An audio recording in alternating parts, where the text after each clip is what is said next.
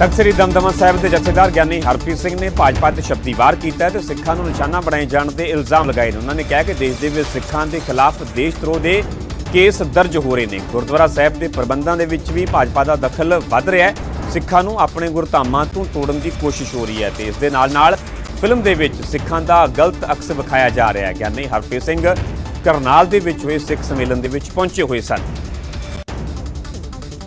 ਹਰਿਆਣਾ ਵਿਧਾਨ ਸਭਾ ਚੋਣਾਂ ਦੇ ਲਈ ਅਖਾੜਾ ਪੂਰੀ ਤਰ੍ਹਾਂ ਪੱਕ ਚੁੱਕਾ ਹੈ ਜੁਲਾਨਾ ਤੋਂ ਕਾਂਗਰਸ ਉਮੀਦਵਾਰ ਰੈਸਲਰ ਵਿਨੇਸ਼ ਫੋਗਾੜ ਚੋਣ ਪ੍ਰਚਾਰ ਕਰਨ ਦੇ ਲਈ ਆਪਣੇ ਸਹੁਰੇ ਪਿੰਡ ਖੇੜਾ ਬਖਤਾ ਪਹੁੰਚੇ ਜਿੱਥੇ ਕਿ ਉਹਨਾਂ ਨੇ ਕਿਹਾ ਹੈ ਕਿ ਪਹਿਲਾਂ ਲੋਕਾਂ ਨੇ ਪੈਰਿਸ 올림픽 ਦੇ ਵਿੱਚ ਮਿਲੇ ਦੁੱਖ ਨੂੰ ਘੱਟ ਕੀਤਾ ਤੇ ਹੁਣ ਉਹ ਲੋਕਾਂ ਦੀਆਂ ਮੁਸ਼ਕਲਾਂ ਨੂੰ ਦੂਰ ਕਰਨਗੇ ਜੁਲਾਨਾ ਵਿਧਾਨ ਸਭਾ ਸੀਟ ਉਹਨਾਂ ਦੀ ਕਰਮ ਭੂਮੀ ਬਣੇਗੀ ਜ਼ਿਕਰਯੋਗ ਹੈ ਕਿ ਵਿਨੇਸ਼ ਫੋਗਾਟ ਕੁਝ ਦਿਨ ਪਹਿਲਾਂ ਹੀ ਬਜਰੰਗ ਪੁਨੀਆ ਦੇ ਨਾਲ ਕਾਂਗਰਸ ਪਾਰਟੀ ਦੇ ਵਿੱਚ ਸ਼ਾਮਲ ਹੋਏ ਸਨ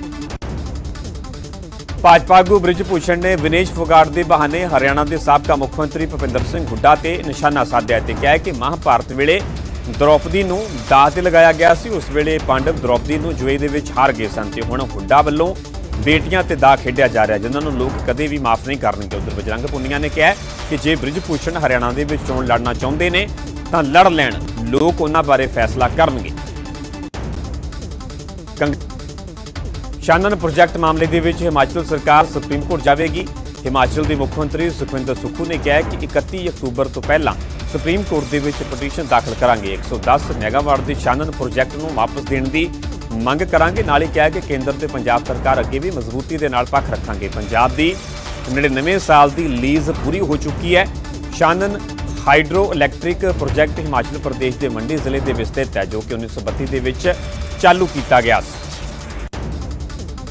ਮੁਕਤਸਰ ਸਾਹਿਬ ਦੇ ਮਰਾੜ ਕਲਾਂ ਦੇ ਵਿੱਚ ਹੋਏ ਕਤਲ ਮਾਮਲੇ ਦੇ ਵਿੱਚ ਨਵਾਂ ਮੋੜ ਆਇਆ। ਮੁਕਤਸਰ ਸਾਹਿਬ ਨੇ, ਮੁਕਤਸਰ ਪੁਲਿਸ ਨੇ ਪ੍ਰੈਸ ਕਾਨਫਰੰਸ ਕਰਕੇ ਖੁਲਾਸਾ ਕੀਤਾ ਕਿ 6 ਸਤੰਬਰ ਨੂੰ ਵਾਪਰੀ ਘਟਨਾ ਲੁੱਟਦੀ ਨਹੀਂ ਸੀ, ਬਲਕਿ ਪੁੱਤ ਨੇ ਹੀ ਆਪਣੇ ਪਿਤਾ ਲਖਵੀਰ ਸਿੰਘ ਦਾ ਕਤਲ ਕੀਤਾ ਸੀ, ਜੋ ਕਿ ਆਪਣੇ ਬੇਟੇ ਪਿਆਰਜੀਤ ਦੇ ਨਾਲ ਦਵਾਈ ਲੈਣ ਦੇ ਲਈ ਕਾਰ ਤੇ ਬਠਿੰਡਾ ਜਾ ਰਿਹਾ ਸੀ। ਪਿਓ ਦੇ ਵੱਲੋਂ ਪੈਸੇ ਵਾਪਸ ਮੰਗਣ ਤੇ ਉਹਨਾਂ ਵਾਰਦਾਤ ਨੂੰ ਅੰਜਾਮ ਦਿੱਤਾ ਪੁਲਿਸ ਦੇ ਮੌਕੇ ਤੇ ਪਹੁੰਚਣ ਤੇ ਪੁੱਤ ਨੇ ਝੂਠੀ ਕਹਾਣੀ ਕੜੀ ਸੀ।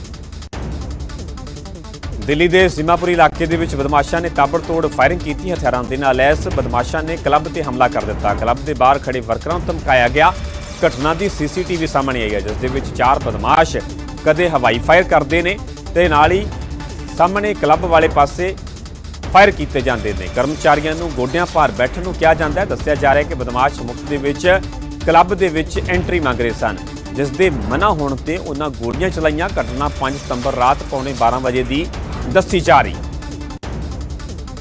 ਬੇਖੌਫੇ ਲੁਟੇਰੇ ਜਲੰਧਰ ਦੇ ਗ੍ਰੀਨ ਮਾਡਲ ਟਾਊਨ ਦੇ ਵਿੱਚ ਘਰ ਦੇ ਬਾਹਰ ਖੜੀ ਇੱਕ ਕੁੜੀ ਨੂੰ ਘਸੀਟ ਕੇ ਲੈ ਗਏ। ਕਰੀਬ 400 ਮੀਟਰ ਘਸੀਟਣ ਤੋਂ ਬਾਅਦ ਲੁਟੇਰੇ ਕੁੜੀ ਤੋਂ ਮੋਬਾਈਲ ਖੋਹ ਕੇ ਫਰਾਰ ਹੋ ਗਏ। ਘਟਨਾ ਦਾ ਪਤਾ ਲੱਗਦਿਆਂ ਹੀ ਕੁੜੀ ਦਾ ਪਰਿਵਾਰ ਉਸ ਦੇ ਪਿੱਛੇ ਭੱਜਿਆ ਤੇ ਗੰਭੀਰ ਹਾਲਤ ਵਿੱਚ ਉਸ ਨੂੰ ਹਸਪਤਾਲ ਦੇ ਵਿੱਚ ਦਾਖਲ ਕਰਵਾਇਆ ਗਿਆ। ਬਾਈਕ ਸਵਾਰ ਲੁਟੇਰਿਆਂ ਨੇ ਦਿਨ ਦਿਹਾੜੇ ਇਸ ਵਾਰਦਾਤ ਨੂੰ ਅੰਜਾਮ ਦਿੱਤਾ ਜਿਨ੍ਹਾਂ ਦੇ ਖਿਲਾਫ ਪੁਲਿਸ ਨੂੰ ਸ਼ਿਕਾਇਤ ਦੇ ਕੇ ਪਰਿਵਾਰ ਨੇ ਇਨਸਾਫ ਦੀ ਮੰਗ ਕੀਤੀ। ਲੁਧਿਆਣਾ ਦੇ ਵਿੱਚ ਸ਼ਰੇਆਮ ਘੁੰਮ ਰਹੇ ਲੁਟੇਰਿਆਂ ਦਾ ਆਤੰਕ ਖਤਮ ਹੋਣ ਦਾ ਨਾਮ ਨਹੀਂ ਲੈ ਰਿਹਾ। ਹੁਣ ਲੁਟੇਰਿਆਂ ਨੇ ਪਿੰਡ ਮੰਨੋਵਾਲ ਦੀ ਸਾਬਕਾ ਮਹਿਲਾ ਸਰਪੰਚ ਨੂੰ ਨਿਸ਼ਾਨਾ ਬਣਾਇਆ, ਜੋ ਕਿ ਲੁਧਿਆਣਾ ਦੀ ਕੁਮਾਰ ਮੰਡੀ ਦੇ ਵਿੱਚ ਪੈਦਲ ਜਾਰੀ ਸੀ। ਤਾਂ ਪਹਿਲਾਂ ਤੋਂ ਹੀ ਉੱਥੇ ਖੜੇ ਬਾਈਕ ਸਵਾਰ ਦੋ ਸਨੈਚਰ ਉਹਨਾਂ ਦੇ ਗਲੇ ਦੇ ਵਿੱਚੋਂ ਸੋਨੇ ਦੀ ਚੇਨ ਖਿੱਚ ਕੇ ਫਰਾਰ ਹੋ ਜਾਂਦੇ ਨੇ। ਮਹਿਲਾ ਨੇ ਪਿੱਛੇ ਭੱਜ ਕੇ ਲੁਟੇਰਿਆਂ ਨੂੰ ਕਾਬੂ ਕਰਨ ਦੀ ਵੀ ਕੋਸ਼ਿਸ਼ ਕੀਤੀ, ਪਰ ਸਫਲਤਾ ਹੱਥ ਨਾ ਲੱਗੀ। ਦੱਸਿਆ ਜਾ ਰਿਹਾ ਹੈ ਕਿ ਪੀੜਤ ਮਹਿਲਾ ਆਪਣੇ ਸਹੁਰੇ ਦੀ ਦਵਾਈ ਲਈ ਗਈ ਸੀ। ਮਹਾਲੀ ਦੇ ਫੇਸ 2 ਦੇ ਵਿੱਚ ਮਥੂਟ ਫਾਈਨਾਂਸ ਬੈਂਕ ਦੇ ਵਿੱਚ ਚੋਰੀ ਦੀ ਕੋਸ਼ਿਸ਼ ਦਾ ਮਾਮਲਾ ਸਾਹਮਣੇ ਆਇਆ। ਸਵੇਰੇ ਕਰੀਬ 3 ਵਜੇ ਚੋਰ ਕੰਧ ਤੋੜ ਕੇ ਬੈਂਕ ਦੇ ਵਿੱਚ ਦਾਖਲ ਹੋਏ ਭੰਨਤੋੜ ਕੀਤੀ ਤੇ ਸੀਸੀਟੀਵੀ ਦੀਆਂ ਤਾਰਾਂ ਵੀ ਕੱਟ ਦਿੱਤੀਆਂ ਗਈਆਂ। ਪਰ ਜਦੋਂ ਗੈਸ ਕਟਰ ਦੇ ਨਾਲ ਬੈਂਕ ਦੇ ਲੋਕਰ ਨੂੰ ਤੋੜਨ ਲੱਗੇ ਤਾਂ ਤੇਜ਼ ਅਲਾਰਮ ਵੱਜ ਗਿਆ, ਜਿਸ ਤੋਂ ਬਾਅਦ ਘਬਰਾ ਕੇ ਚੋਰ ਤੁਰੰਤ ਮੌਕੇ ਤੋਂ ਫਰਾਰ ਹੋ ਗਏ ਤੇ ਜਾਂਦੇ ਹੋਏ ਉਹ ਗੈਸ ਕਟਰ, ਸਿਲੰਡਰ ਵਾਲਾ ਬੈਗ ਅਤੇ ਥੋੜਾ ਉੱਥੇ ਹੀ ਛੱਡ ਗਏ। ਘਟਨਾ ਦੀ ਸੂਚਨਾ ਮਿਲਣ ਤੇ ਪੁਲਿਸ ਮੌਕੇ ਤੇ ਪਹੁੰਚੀ ਤੇ ਚੋਰਾਂ ਨੂੰ ਕਾਬੂ ਕਰਨ ਦਾ ਭਰੋਸਾ ਦਿੱਤਾ ਗਿਆ। ਚੰਡੀਗੜ੍ਹ ਪੁਲਿਸ ਦੇ ਸਾਈਬਰ ਸੈੱਲ ਨੇ ਲੋਕਾਂ ਦੇ ਨਾਲ ਠੱਗੀ ਕਰਨ ਵਾਲੇ ਗਰੋਹ ਦਾ ਪਰਦਾਫਾਸ਼ ਕੀਤਾ। ਹੈ 6 ਮੁਲਜ਼ਮਾਂ ਨੂੰ ਗ੍ਰਿਫਤਾਰ ਕਰ ਲਿਆ ਗਿਆ, ਜਿਨ੍ਹਾਂ ਦੇ ਵਿੱਚ ਤਿੰਨ ਔਰਤਾਂ ਵੀ ਸ਼ਾਮਲ ਨੇ। ਮੁਲਜ਼ਮਾਂ ਨੇ ਵਿਦੇਸ਼ ਭੱਜਣ ਦੇ ਨਾਂ ਤੇ ਕਰੀਬ 27 ਲੋਕਾਂ ਨੂੰ ਨਿਸ਼ਾਨਾ ਬਣਾਇਆ। ਇੱਕ ਇੱਕ ਸ਼ਖਸ ਤੋਂ 1.5 ਲੱਖ ਰੁਪਏ ਲਏ ਲਏ ਗਏ, ਕਰੀਬ 35 ਲੱਖ ਰੁਪਏ ਠੱਗ ਲਏ। ਤੇ ਮੁਲਜ਼ਮਾਂ ਤੋਂ 15 ਮੋਬਾਈਲ 15 ਸਿਮ ਕਾਰਡ, ਤਿੰਨ ਸਟੈਂਪ ਤੇ ਇਸ ਤੋਂ ਇਲਾਵਾ ਰਿਸੈਪਸ਼ਨ, ਰਜਿਸਟਰ ਬਰਾਮਦ ਹੋਏ ਨੇ। ਇਸ ਗਰੋਹ ਦਾ ਮਾਸਟਰਮਾਈਂਡ ਚੰਡੀਗੜ੍ਹ ਦਾ ਸੰਜੀਵ ਕੁਮਾਰ ਹੈ। ਠੱਗਾਂ ਦੇ ਇਸ ਗਰੋਹ ਦਾ ਪਰਦਾਫਾਸ਼ ਉਦੋਂ ਹੋਇਆ ਜਦੋਂ 27 ਲੋਕ ਵਿਦੇਸ਼ ਜਾਣ ਦੇ ਲਈ ਦਿੱਲੀ 에ਅਰਪੋਰਟ ਪਹੁੰਚੇ ਤੇ ਇਸ ਦੌਰਾਨ ਉਹਨਾਂ ਦੀ ਟਿਕਟ ਜਾਲੀ ਪਾਈ ਗਈ। ਪੀੜਤਾਂ ਨੇ ਦੱਸਿਆ ਕਿ ਏਜੰਟ ਦੇ ਵੱਲੋਂ ਉਹਨਾਂ ਸਾਰਿਆਂ ਨੇ ਅਜ਼ਰਬੈਜਾਨ ਜਾਣਾ ਸੀਗਾ ਤੇ ਉਹਨਾਂ ਨੂੰ ਭਰੋਸਾ ਦਿਵਾਇਆ ਗਿਆ ਸੀ ਕਿ ਉੱਥੇ ਉਹਨਾਂ ਨੂੰ ਪੀਆਰ ਦੇ ਨਾਲ ਨੌਕਰੀ ਦਿੱਤੀ ਜਾਵੇਗੀ।